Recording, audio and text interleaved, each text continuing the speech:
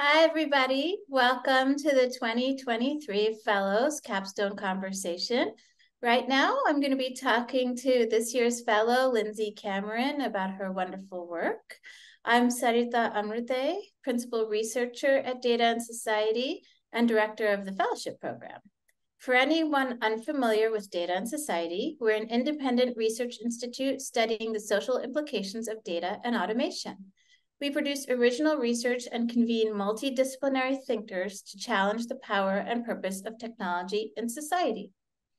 Data and Society began nine years ago in New York City, an island node in a large network of hills, rivers, and mountains in the Atlantic Northeast known as Lenape Lenapehoking, the ancestral lands of the Lenni Lenape people. Today, we are connected online via a different network, a vast array of servers, humans, and computers. In the United States, much of this system sits on stolen land acquired under the extractive logic of white settler expansion. As an organization, we recognize this history and uplift the sovereignty of Indigenous people, data, and territory around the world. We commit to dismantling all ongoing settler colonial practices and their material implications on our digital worlds. We started this type of fellowship three years ago to recognize the importance of questions of race and analogous concepts like caste when studying, developing, and using emerging technologies.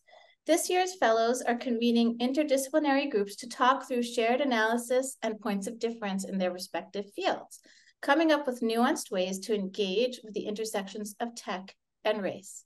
I'm going to hand the mic over to Lindsey now for a quick introduction, and then I'll talk a little bit about my work. Then we'll have a conversation back and forth about what we've been working on. Wonderful. Well, thank you so much for uh, inter for that beautiful um, introduction and for inviting me to be part of Data and Society that this past year in a more formal role. So I'm an assistant professor of management at the Wharton School at the University of uh, Pennsylvania. And then I also have a secondary appointment in the Department of Sociology. And all of my, my research is focused on around algorithmic management, really centering workers' experience and how do they respond to these changes that are happening in the workplace. Probably my biggest study that I'm most well known for is an ethnography of ride hailing. So those are your Ubers, your Lyft, your Junos. I actually worked part time for a ride hailing company for about three years, but I've also studied other platforms such as TaskRabbit and Instacart and all the food delivery platforms. So yeah, that's really what my work centers around is the human experience in being algorithmically managed. Mm, yeah. And, you know, for those of you who don't know me yet, I wrote a book about uh, programmers and race and class and tech worlds. And I was specifically looking at the experience of coders from India in short term coding contracts. Um, the book's called um, Encoding Race Encoding Class. And Lindsey, to your point about humanizing the experience of working in tech, I think that was really what I was after too. I think you know, we often have these assumptions of what gig workers are or what coders are, and it turns out their lived reality is very, very different. Um, and now I'm trying to work on a, a, a project that extends that focus to also include caste as a really important uh, vector for discrimination and value production in, in tech economies. Um, and, you know, one thing I wanted to ask you just off the bat is what drew you to the fellowship and what has the experience been like? Well, one, I love your work. You know, I think the the bigger question that brought me to Data Society is I, I've been like a, a cherished guest, it feels like, uh, coming there for paper workshops over the years and knew it was a like minded group of people I wanted to spend time with. And I, I think why this fellowship and why now is that I've always used more of a labor lens to look at my work and looking at the power asymmetries and focused on the tech. And race is it's like the hidden elephant that's in the room that race obviously is there you know i have a huge corpus of data you know hundreds of interviews stretching over six years and and archival data, my own experience as an African American woman driving in these platforms. And I was just curious to see what my data was going to say about race or what could it say. And so I took this opportunity in the fellowship to explore something that I probably wouldn't have explored before because I was very comfortable using this one lens to think about my data. So I use this time, you know, as a time to go to go deeper into something I wouldn't have gone to otherwise, and also to think about what does it mean to frame uh, research for more of a public audience and not just an academic journal. And how has that been? I mean, I, I I can hear what you're saying about race being this elephant in the room that's hard to really describe. You you know, as we know, you grab the tail of the elephant, it feels like one thing, the ear feels like something else. Over the course of your year, have you come to any conclusions about how we can think through the, the intersection of race and tech work? Conclusion no, very much in progress. But I am seeing it come through in a few different uh, ways in my data. So the first thing as I, I did is sort of went through all the data I've collected, these thousands of pages, to see how many instances there were of race. And honestly, there there weren't that many, you know, 50 at the most, 40. And then I then went out and did a separate data collection around video diaries, where you know often people will talk uh, and make these videos on Instagram, Insta, um, Instagram or TikTok or YouTube that is talking about their experience and they're centering then what's important to them about race. So that allowed me to get a bit more uh, selective. And so there's that those sort of data points. I did another archival uh, round of collection, and then reading and and thinking about this. You know, it feels like race is operating at multiple levels. They're sort of at the, the more the the larger level around predatory inclusion. So, hey, we now you get to be an entrepreneur you get to have control of your own time and for a group of workers that have been deemed a, the service class you know quote unquote in american society this seems to be a good thing and so this is I think their race is operating at a much more higher level as in terms like occupational sorting. Even when you look at the advertisements for these companies, they're often a black or brown person that's helping someone that that's white. So there's some some racial implications right there. But even, then looking in through the data, seeing about what it looks like in the interaction interactional um, day to day. There is, of course, people who talk about Instacarting while black or flexing while black, where they might go into a neighborhood where they're the only one to do a delivery and they've been attacked by dogs or people have pointed weapons on them. Talked about discrimination they've gotten when they've been followed around or not allowed to use the bathroom in certain stores. So these these stories around um, discrimination and pain points. And then there are also stories of celebration. There was mm-hmm. one driver who felt like it was his job to be the cultural ambassador of blackness in his his Uber car. And so he purposely played music by like Drake and Chance the Rapper, who are more socially conscious uh, hip hop rap rappers, so he could have a conversation with people around race and and consciousness, Black consciousness.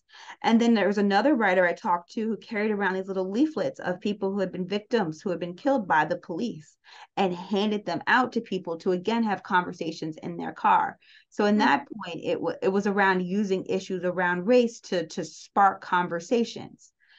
So to, to go back to your initial question of how I'm seeing race, I'm seeing it being operationalized in in different levels, like both at the sort of the higher level occupational, then sort of by the stores or in the cut like at the customers when people are doing these deliveries, and then in particularly in the car, I'm seeing both these sort of positive and negative interactions that are race based.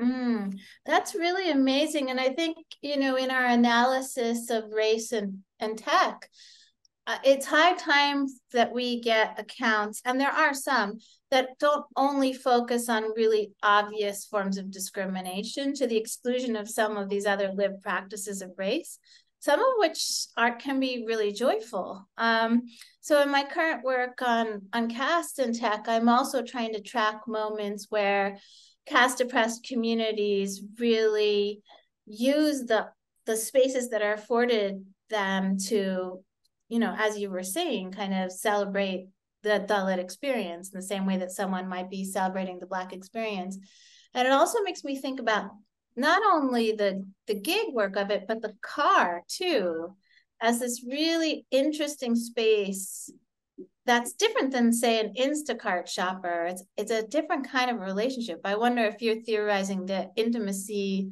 of driving at all and maybe thinking through your own experience driving mm-hmm. um, you know how are you thinking about that yeah, the car is the one example I have, I think, out of the seven platforms where I see more of the celebratory aspect. And I think it's you know you, you either own your car or maybe you're renting it on a longer term contract through a company and people i call this part of the relational game in one of my papers where folks decorate their car with unicorn stickers or the party light so it's a conversation piece or people will promote their businesses i remember uh, there was one driver who said i'm here to uplift you and it was written on his flyers and it was U P L Y F T for uplift. And he had these crystals all around his car. So those are other examples in addition to sort of these race interactions where people are using the car as, as a point of connection. You know, in, in Instacart, I have a paper about workers and how they see themselves as heroes or not, you know, during the during the height of the pandemic.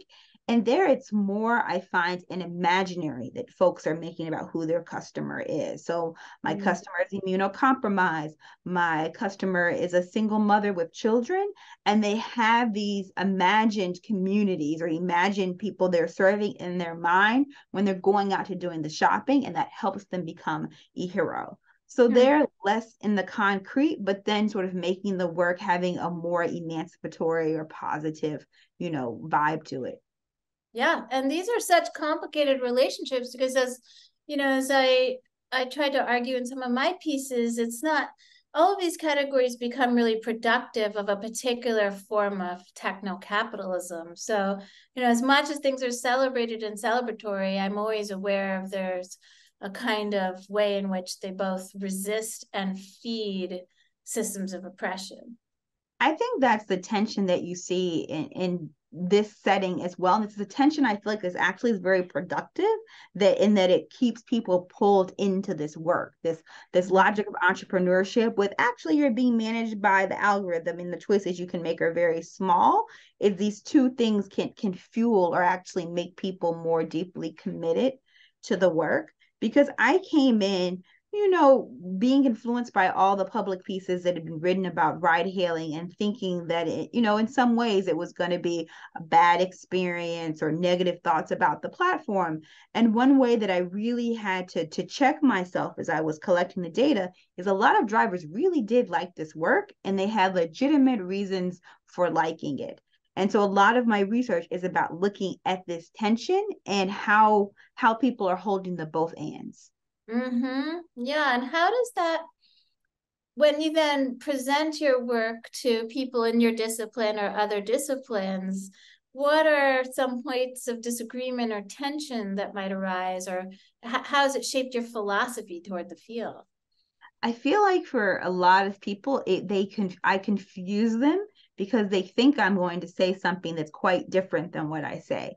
So I'm in a management department. There are a lot of strategy people, and they're like, So you're not looking at firm performance? And I'm mm-hmm. like, I have no interest in the firm. Like I have, I don't even have that much interest in Uber and Lyft as a company. I'm interested in ride hailing and technology.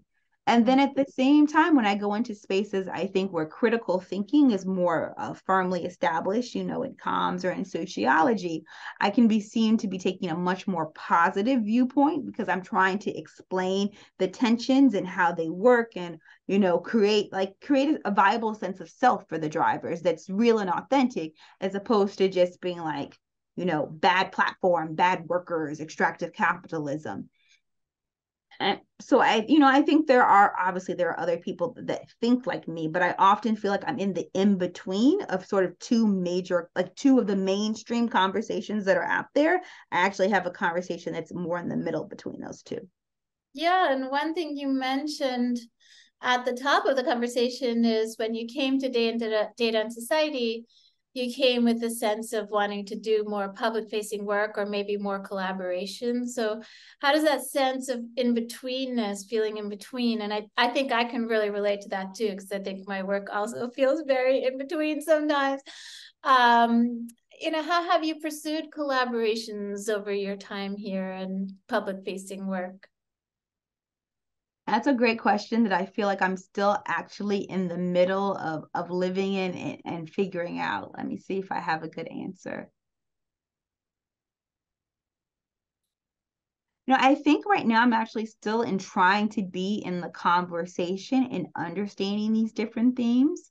So I'm having a micro convening around race and gig work that is is moving my my thought forward.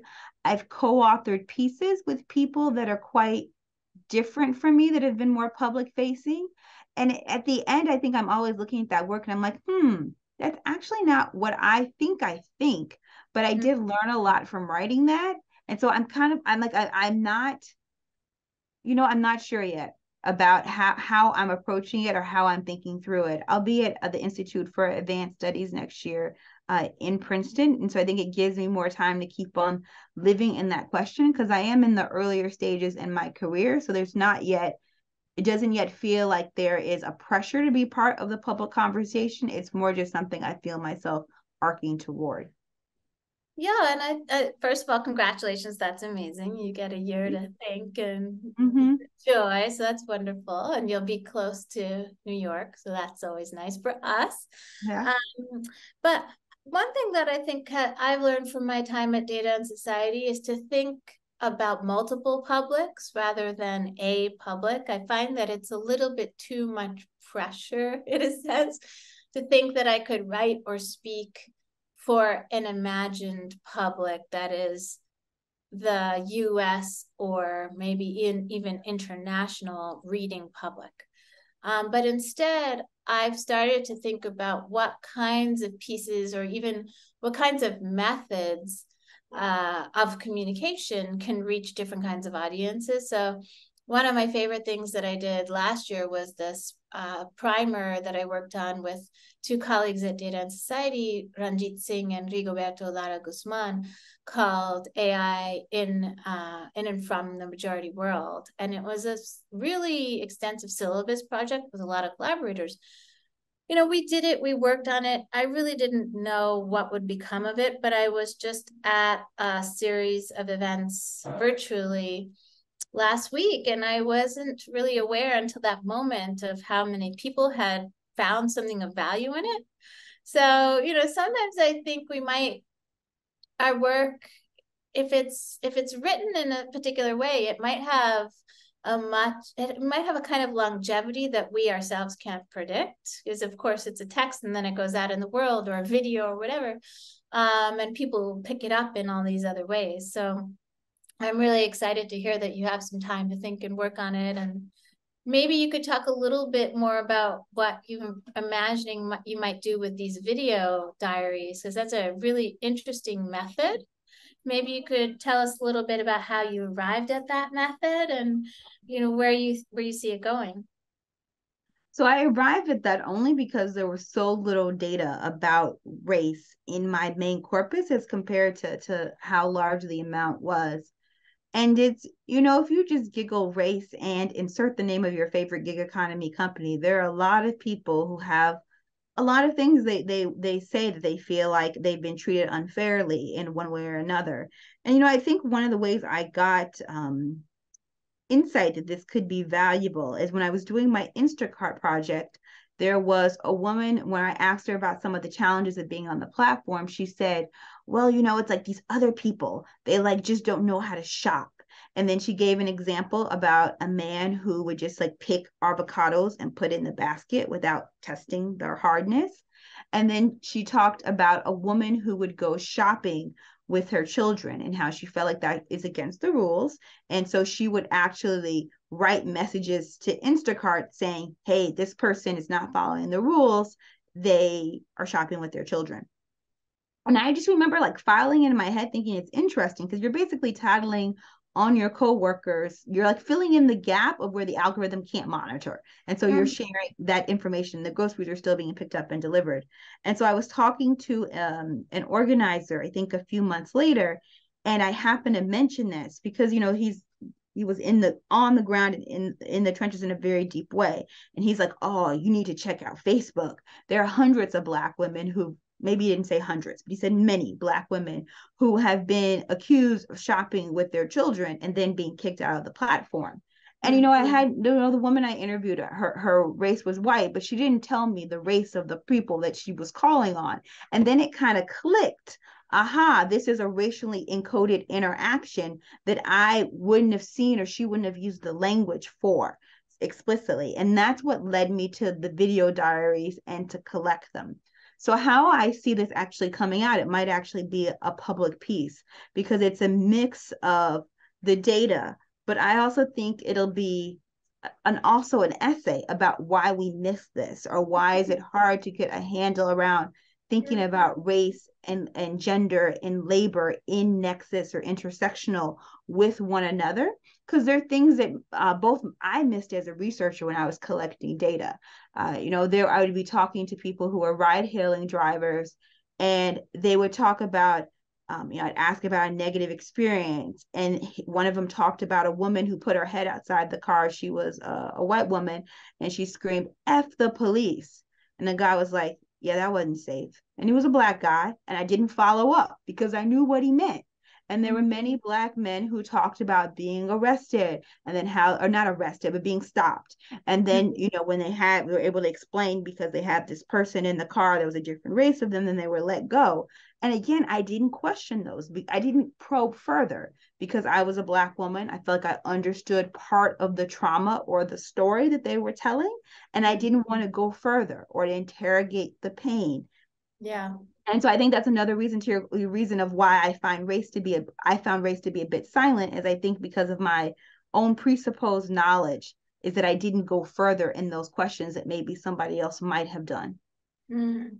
You know, one thing I always appreciate about you, your work, your research methodologies is this incredible humility you have with your own process. I mean, it's amazing. I've learned so much this year from just watching you go back and revise and question and really deeply interrogate the relationship between race and its erasure and how we all are embodied in the field and it's just it's just great. It's so amazing to hear you talk about that and i'm sure your students really appreciate that as well. Because i think sometimes graduate students especially we unwittingly train them to go into the field as if you know as if the the grant proposal they wrote to do the work is what they're going to stick to.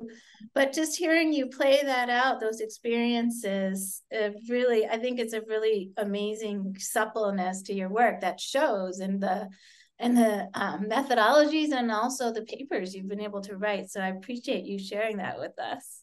Yeah Great. thank you. it's like the using the body as an instrument. Mm-hmm. yeah i think that's in, right. in the field yeah I mean, one thing maybe we could both share for listeners at home, you know, we're both university professors. We've we've chosen this path for ourselves, and, and I'm wondering, you know, what what would what wisdom? I mean, you're still very young, so wisdom maybe is the wrong word, but nascent experience about being in academia as a Black woman what would you want to share with people out there who are listening who are maybe already in academia thinking about coming into academia from from where you sit? This is a second career for me. I was a hacker in the government for career number one. So i entered phd program at 29 which is above average in my eh, discipline. I think usually people are more like 25 to 27 or something like that. And you know there's a clear knowing of like why i'm here and what i was arcing to arcing toward. I've always loved the word triple threat you know someone who can do research consulting and teaching together consulting being engaged with the world. And i knew yes i want to be a triple threat. And like that's like been my steadiness or my purpose that i that i've held on to for a long time. And then you've asked about you know maybe you know unique reflections of being a black woman and I would, you know, I'm gonna my story I feel like or my narrative is different from what I've heard other people say because I feel like in general things go swimmingly well. You know, and I, you know, I think, you know, it could be a larger conversation about maybe there's colorism or, you know, depends on, you know, where I went to school from.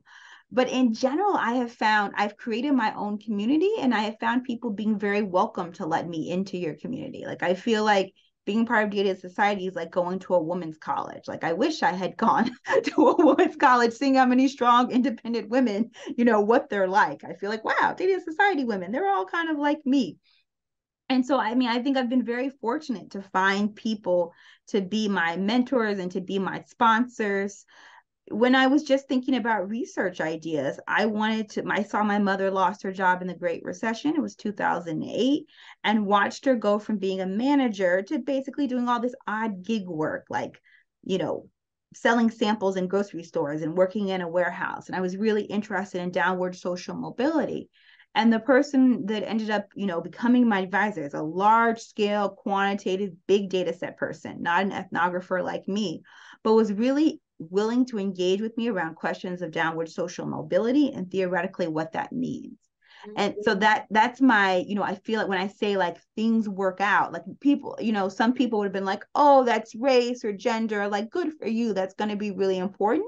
But i happen to find that people are like no this is actually theoretically valuable and i'm going to help guide you on sort of how to craft that you know as a as, as a contribution. So you know doors and windows open and when you don't see a way, you make a way. And mm-hmm. you know, I, I feel very blessed and, and fortunate.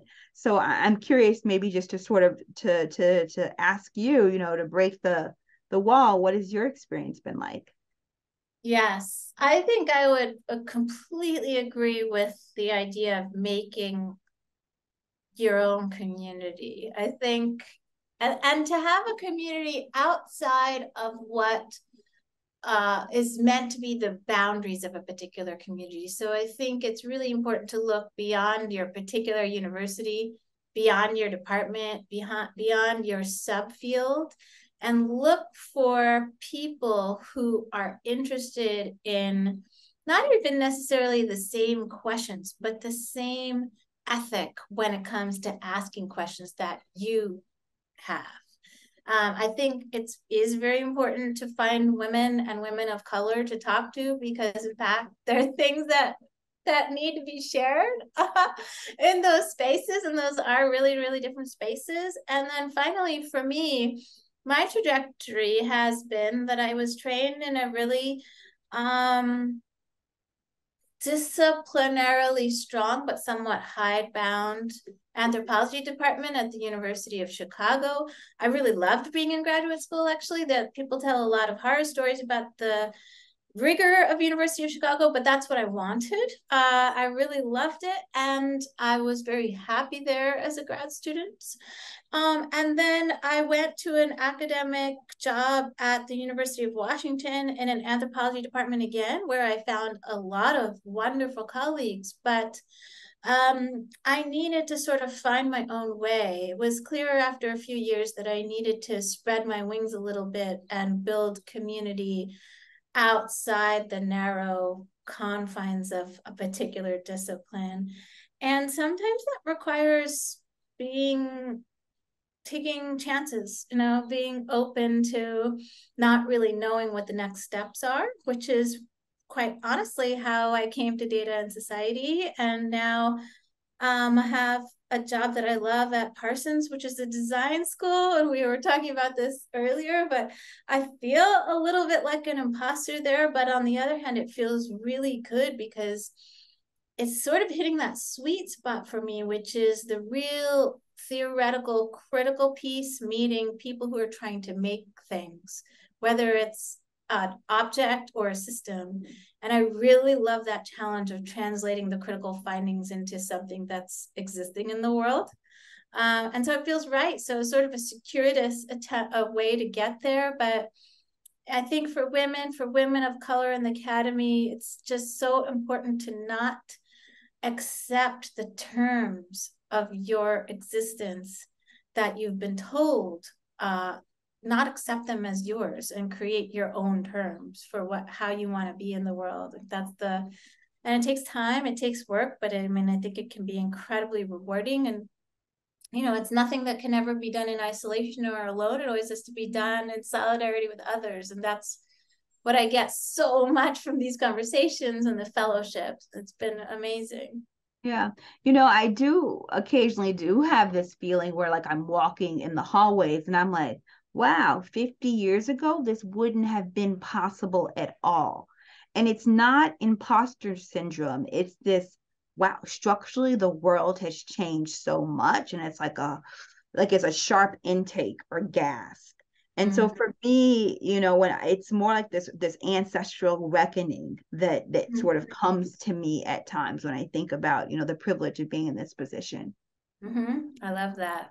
Yeah, you're bringing your ancestors with you to the hallways. Yeah. and they all continue to disrupt because, you know, the hallways, as you mentioned, colorism, elitism, both of us come from pretty elitist institutions, if I can say that. Maybe that needs Harvard is elite, elitist, elitist. so thinking thinking more about what we can do to keep keep that spirit of rebellion alive, I think that's where I want to move. Yeah, and you know, I you know, just the best form of rebellion is often flourishing, and to bring other people around who are flourishing with you too. And I think that's really what's been so amazing. It's spending this year at Data and Society. It's like it's contributing to this flourishing. I, there's no way, not no way, but I don't feel like I would have been prepared to go to IAS and to step in to this theme of platforms if it wasn't for you know this sort of groundwork that I've been helping to build with Data and Society, and I hope to continue. It's you know, it's all in a journey as we're all arcing forward together. Mm, I love it. I, I can tell that arcing is one of your key words, and I think I'm a word I'm going to take with me. Thank you, Lindsey. This has been a lovely conversation. Um, and I'm looking forward to collaborating with you for all the years, for all the years going forward. Thank you. Thank you. You too.